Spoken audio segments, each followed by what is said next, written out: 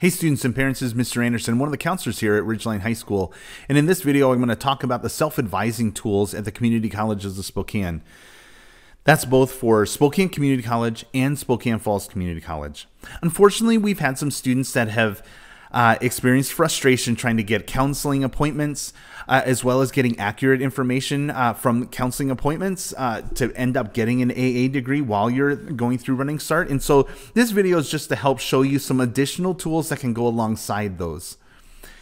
Now, the self advising tools at the community colleges of Spokane, they help you track your progress. So they don't tell you what to do, but they help you. They're an assistance for you. Um, along with the information that your counselor at Ridgeline High School uh, provides you, it can help you track your high school graduation requirements, but it can also help you track those uh, requirements for your AA degree if that matters to you. And remember, you don't need to end up getting an AA degree while in running start to transfer those to a university afterwards. You can still transfer whatever credits that you have, or even if you want to just stay an extra quarter or two at the community college afterwards to finish up your AA degree, that's totally fine as well.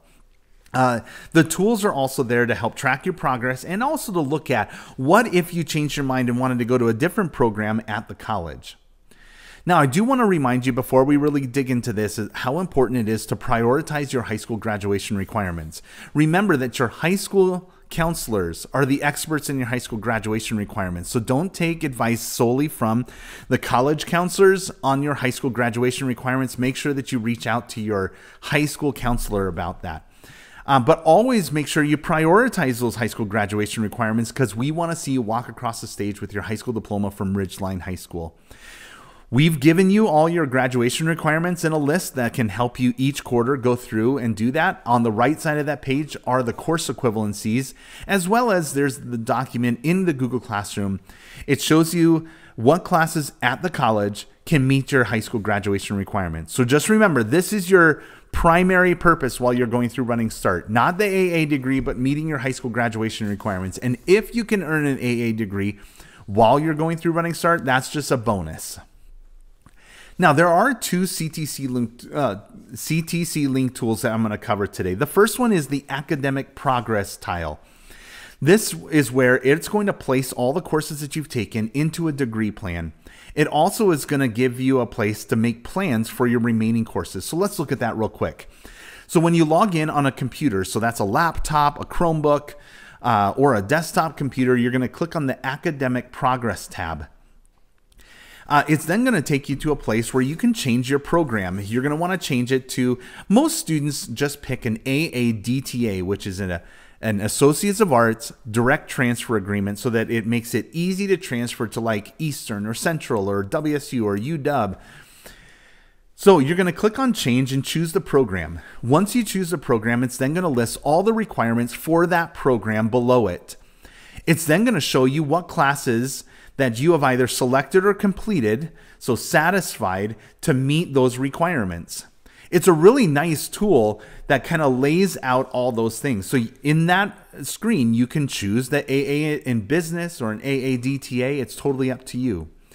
And then what you can do is from that list, you can click on a specific requirement, like for example on this one, the written communication skills. It's going to then list all the classes that you could take in that category to satisfy that requirement. Now, when you do satisfy it, you'll see that little green check mark and it shows it as satisfied. Otherwise, it'll show you the classes that you can choose. Um, also, what you can do from that screen is you can end up reviewing the course information uh, to see um, what kind of class that you could take. So there's that little arrow over on the right hand side. You click on that, and then it takes you into um, a, a, a, screen that gives all the information how many units, so the credits that are required, what um, like category it's under. And then what you can do is you can add it to your planner from here. So adding it to your planner allows you to then go to your planner and it lists out all the classes that you are planning to take. And you'll notice there it actually has on the right hand side a little star and it says plan. So it lists out the classes that you've maybe taken and also the one that you're wanting to plan to take. So using that planner ends up being a really helpful tool to end up looking at your academic progress. When you're all done with planning out those courses, or you're just kind of keeping track of the ones you've, you've um, completed, you can also generate a PDF each quarter to end up keeping a record of all of that. When you view the report as a PDF, it'll look similar to this, where it lists each of the categories in the degree, it lists all the requirements that you could possibly be able to choose from, and then it'll show anything that you have taken or in progress. Now, the other uh, CTC Link tool that's available to you is called a What If report. This is kind of saying, what if you change to a specific program? Either like an associates in business or associates of fine arts or something like that. It gives you ideas and it helps you for planning purposes only. Keep in mind, this is not necessarily exhaustive or perfect. Um, that's where you're going to need to go to experts for the AA degree in order to get that those specific things. This just is going to help you um, as you're trying to self-advise. So again, you're going to click on the academic progress tile and then on the left hand side, you're going to say, you're going to click on the view what if report. And then you're going to click on create new report. So this is where you're going to get a chance to customize the type of report that you're going to want to do. So what if you change to a specific thing? From that next screen, you're going to create a what if report. You'll need to include several specific informations that are indicated on that screen, but those are going to be like the institution, the career you're looking at, um, or the career category, the catalog year, academic program, area of study, or even the concentration. Now, not all the colleges uh, have a concentration area or what called subplan, so you can just leave that at NA and try that out first. And if it doesn't work, you'll need to select a concentration or a subplan. So again, from that screen, you'll then hit submit request. And what you'll be able to do is inside that what if report, you'll be able to view the report as a PDF. It'll break down each of the categories and it'll say, what if you change to this program the classes that you've taken?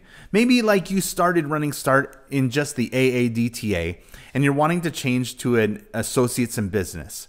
So you go into the what if report and you say view report as a PDF and you can look at how do the classes that you've already taken fit into that associates in business and maybe it doesn't fit in real well and so you want to look at a different program or maybe stay in an AADTA. Again, it just helps you to make some choices. Now, I just want to make sure to emphasize real quick that those two tools, the academic progress and the what if report, are there to help you help guide and help self advise from quarter to quarter. However, if you have specific questions that you're wanting to ask, make sure to reach out to the experts in the AADTA or um, your degree plan at the college. So for Spokane Falls Community College, you're going to go to the counseling page and then the contact us. You're then going to click on the concurrent enrollment programs and you'll find your counselor's name, email address, and phone number so that you can reach out to them to ask any specific questions that you've had. At SCC, you can go to the counseling page and the contact us. You can then click on running start to find contact information. Again, remember that to track high school graduation requirements, if the counselor at the college talks about that, make sure that you just check in with your high school counselor to make sure that that all sounds accurate because we are the experts in the high school graduation requirements. They're the experts in the college requirements. And so, together, um, by working with both of us, you'll get an accurate picture. So that's just how to use those self-advising tools. Yes, it's a real brief overview and you'll kind of kind of have to go into it and kind of play around with it to see how helpful it is for you. But hopefully it is helpful. Hopefully it'll help you self-advise as you go through your AA degree. If you have any other questions, please make sure that you reach out for help.